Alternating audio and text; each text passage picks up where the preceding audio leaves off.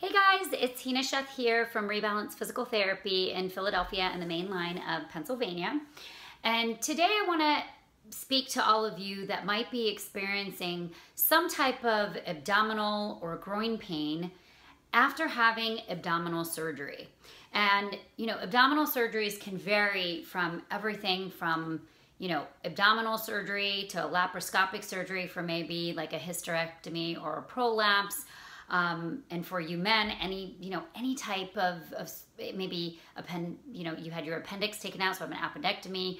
Um, so any of you, men and women, that are experiencing some type of abdominal pain after having abdominal surgery, and you've gone back to the surgeon or you've talked to other, you know, medical providers and you're not really coming up with any answers or maybe they're telling you, "Oh, you know, it could be some type of scar tissue." I'm here to talk to all of you about what can be done to help um, the pain that you might be experiencing.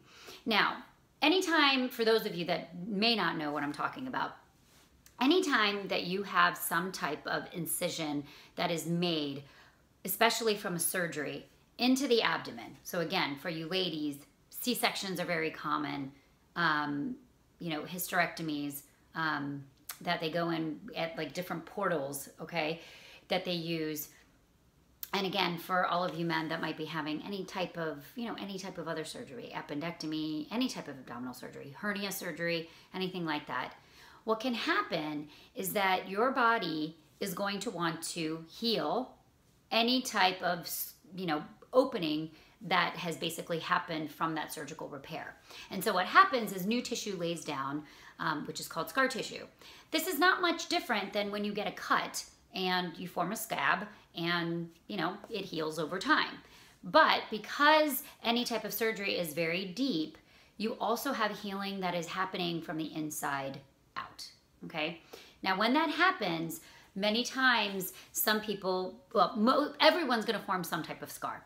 But for some people, they're going to form scarring that is more, has more tension, um, that is, is tougher than other people. And this can vary for various reasons due to genetics, um, just your healing type, the way that you heal, you know, and that can have a lot to do with different you know, nutrition, um, kind of just the way your body heals.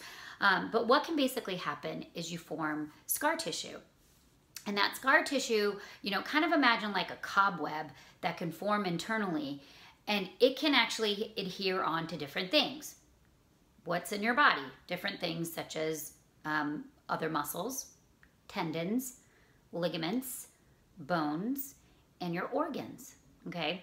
And sometimes even if the scar tissue can wrap around organs, it can actually also affect the functioning of those organs. Um, in our clinic, you know, because this is kind of a specialty area that we treat, we have lots of people coming in. Um, you know, I can't even count how many that we've treated for various types of scar tissue that can cause everything from, you know, just your general abdominal pain that no one can figure out where it's coming from to you know bladder issues such as frequency, urgency, um, retention. Um, it can also cause you know what some people feel like it could be like an ovary type pain for you men. It can also cause urologic issues. Um, you know, I, again, I can go into all the different case studies that I've seen. Um, but it can cause all sorts of different um, sorts of organ related pain. So I want to show you this picture, and this is actually taken, I got it off of Clear Passage, but this is kind of what ends up happening. So this is basically the, you know, the body, and they cut the abdomen off so that you can see the organs. Now, anytime that you have some type of surgery, and I hope you guys can see this, you're going to have scar tissue that can form. So again, just imagine like little cobwebs that have formed internally, and depending on how deep they went for your surgery, you know, say if they went in and they did like a C-section, okay, so they cut this area open. So you're gonna think, okay, there's gonna be a scar, a little bit of a scar there.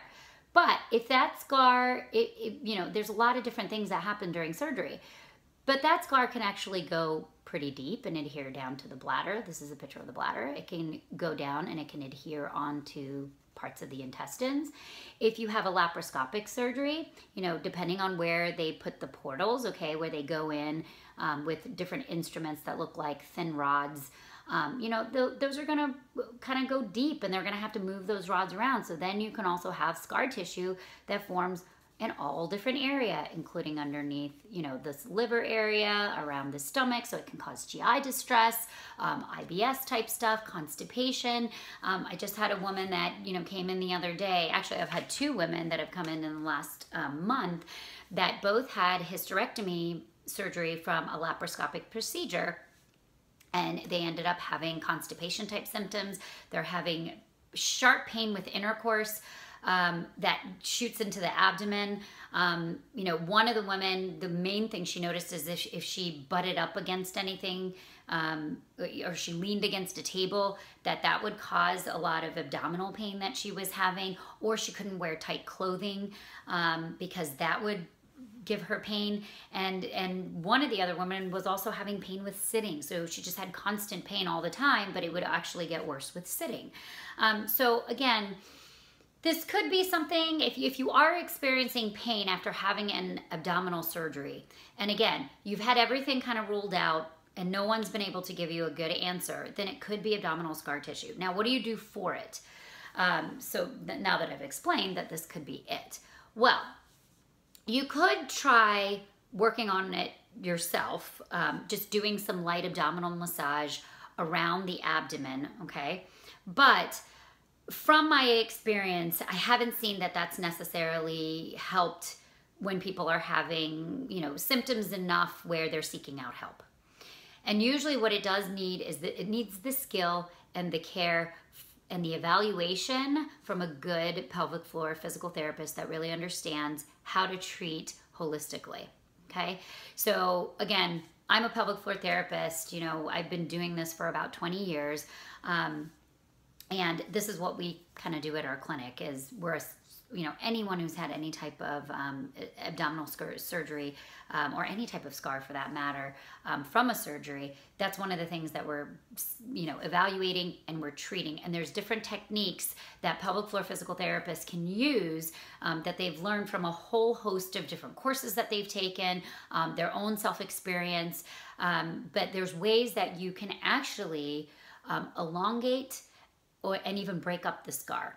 Okay, so if you do not, if, if you, obviously if you live in the Philadelphia area or the main line around Philadelphia, then, you know, you can give us a call and, and visit us and we'd be more than happy to evaluate you. We treat this all the time. However, if you don't live in the Philadelphia area, I would encourage you to find a pelvic floor physical therapist that knows how to treat in an integrated holistic fashion that also understands orthopedics because that's going to be a big part especially for those of you that are also experiencing joint type pain. So maybe a hip pain, back pain, those things like that.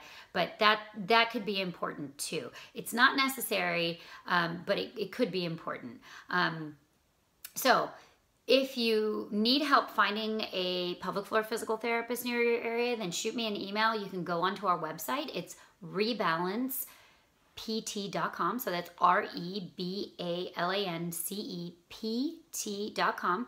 You can shoot us an email and um, just, you know, let us know if you need help finding a physical therapist. We have, um, you know, there's lots of different physical therapists that I know around the country that are very, very good. And if I don't know someone in your area, I will find you the resource where you can find one.